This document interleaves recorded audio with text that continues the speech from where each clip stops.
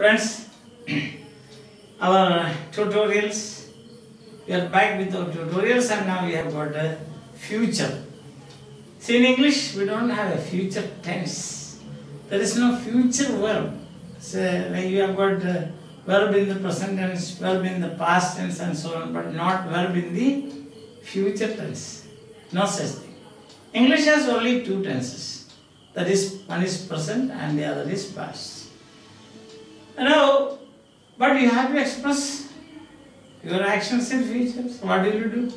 There are various ways of expressing. That's why I have written like this: expressing future time, not future tense. I did not say tense, but time. Understand? Now there are many ways of expressing future in English. One is will. A probable actions we say will. These are that's very familiar. We are all familiar with this now. Will. I will go, you will go, she will go, see, they will go, like that, will. If it is a planned action, we use, see, example is I will go, I will go, he will go, etc. And suppose this is probable action, probable. If it is a planned action, suppose well planned action, then you use going to, be plus going to. Be plus going to. Be means you know, you have got is, um, are. Three forms, remember no? So third person singular, first person singular, I am. Third third person plural and second person plural, etc. are. So you can say, he is going to meet her. He is going to meet her. He is going to meet her. So that is a planned action. So B, form of B is here is plus you have got going to and then you have the rest of the sentence. He is going to meet her. I am going to go to a film. I am going to go to a film. Because I planned it. Last two days I have been working very hard. So I am going to go to a film. Okay? Uh, she is going to she is going to meet her hero. She will meet her hero is probable. She will meet her hero. She is going out, she will meet her hero. See, we are going to go out for a walk. And difference, we will go out for a walk. One is we will go, we will go out for a walk is probable action. May or may not happen.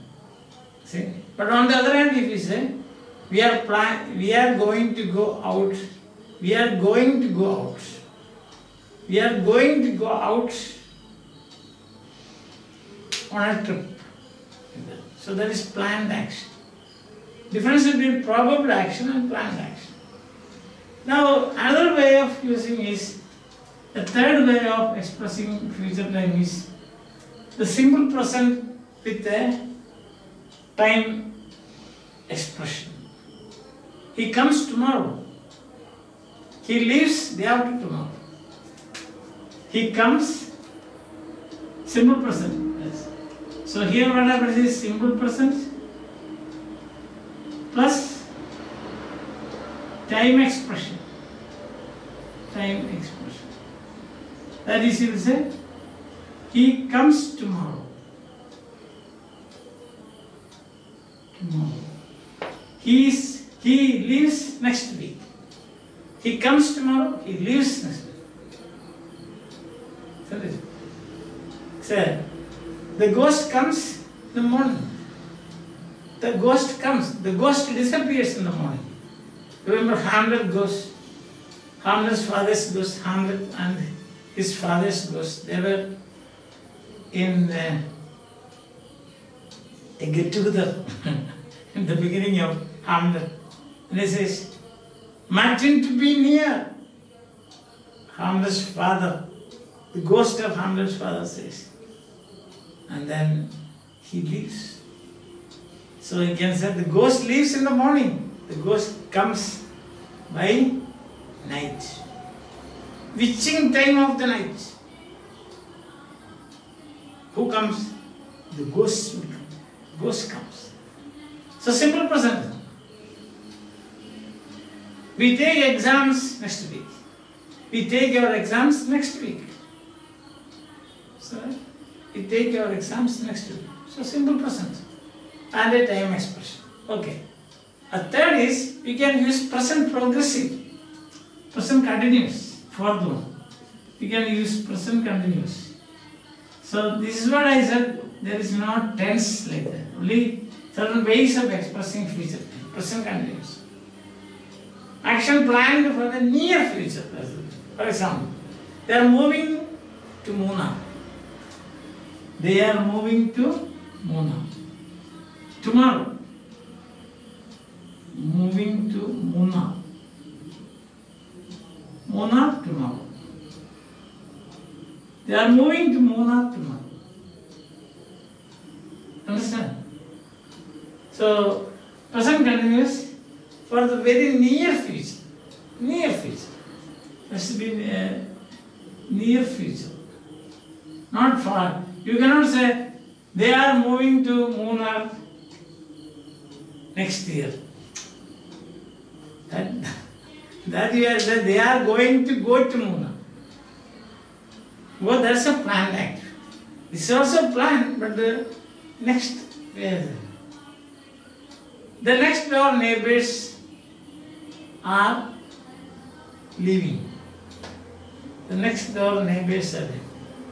So you that we have been so much harassing them, so they are leaving. Understand? Harassing them. We are leaving in five minutes.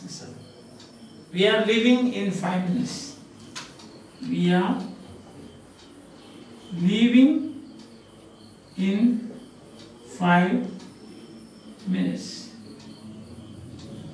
We are leaving in five minutes.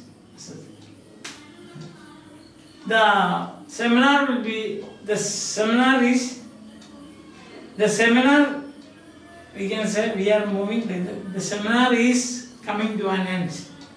The seminar is coming to an end in one minute, in two minutes, two minutes, five minutes. The seminar is coming to an end. So we are, we are saying bye in, in a few seconds. We are saying bye in a few seconds. We are saying bye. It's near future. Listen, there's another way. And fifth is, again, is, uh, what happens is that action occurring very near future.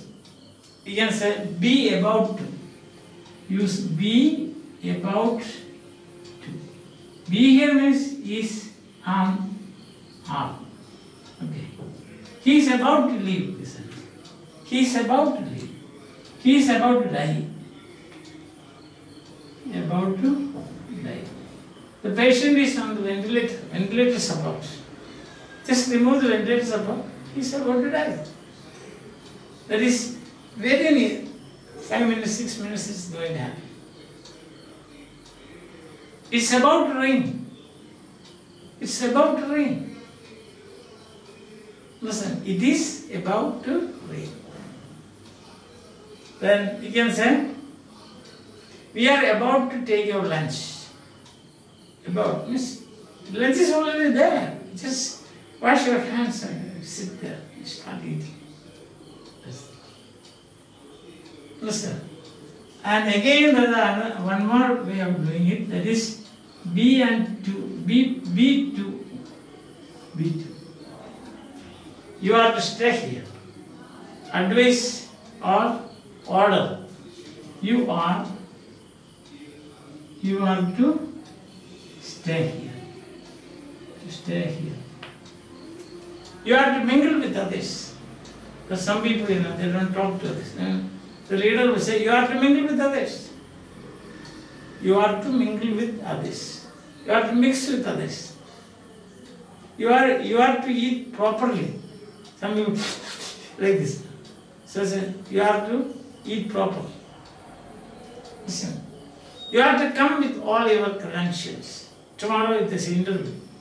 So the man preparing the interview, preparing is preparing to say arrangement, preparing on the arrangements for the interview will say, candidates all please listen, you are to come tomorrow, you are, you are to, we don't say you will come to, or you are going to, you cannot say, or you come to, you cannot say. See? So there are different ways of expressing things. You have to come tomorrow with all your credentials. So that's what happens is that you say, it's sometimes what happens. It is very near future and most, so I'm sorry, most of the time it is about advice or suggestion or an order. See?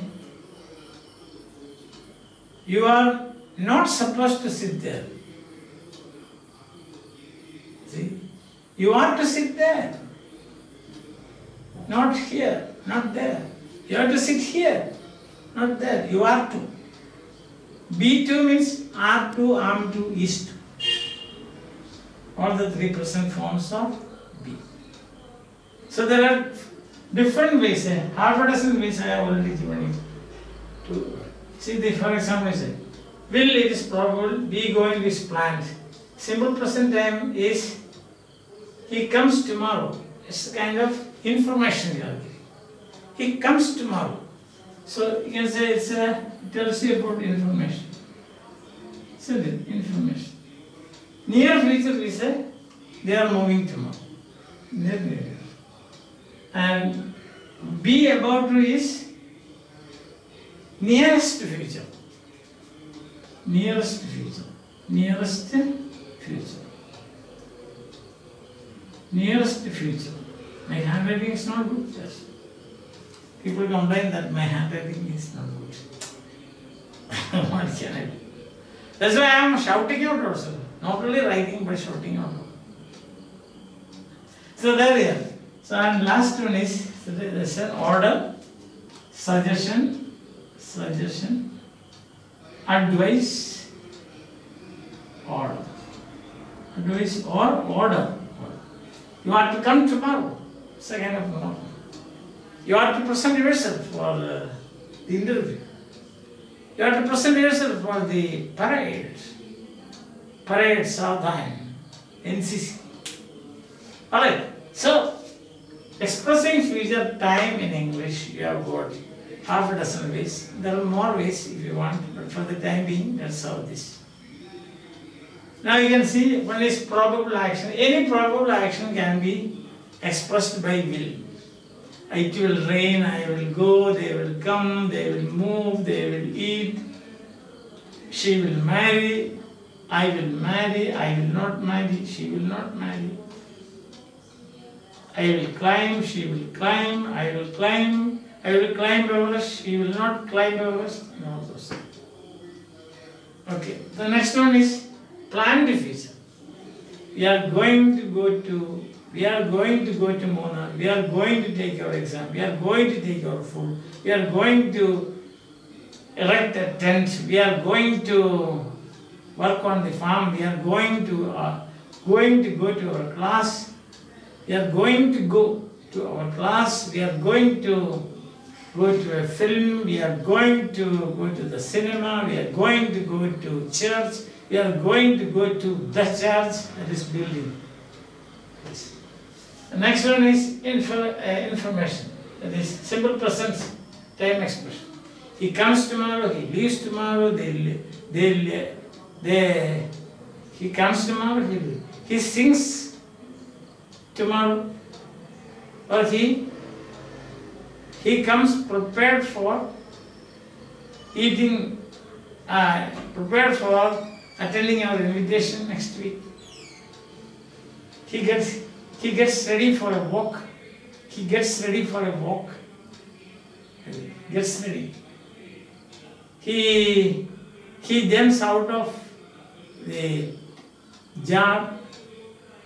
He jumps out of the jar in a few minutes. Magician says that. He jumps out of the war, jar in a few minutes. That's, and then we have got information we have seen. near future, present continuous. He is, or they are living, they are living next, uh, in a few seconds.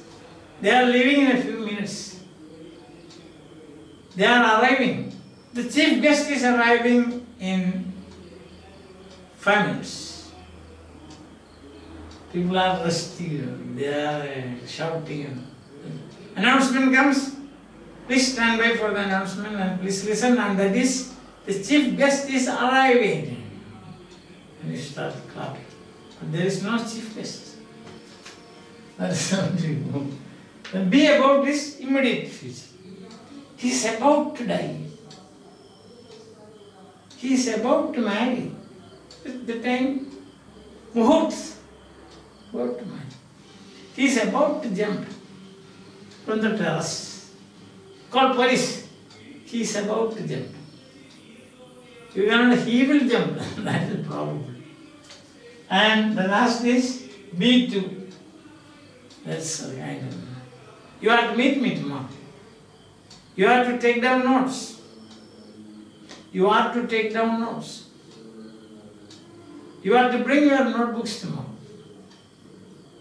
You have to get your writing materials from the office. You have to get your writing materials from the office. So these are different ways of expressing future time in English. My dear friends, don't be disappointed when I say that there are only two tenses in English. Alright, cheer up. We will continue next class. Till then, bye. Have a nice time.